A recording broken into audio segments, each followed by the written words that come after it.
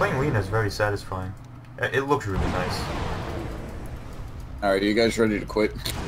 No? He just disappeared.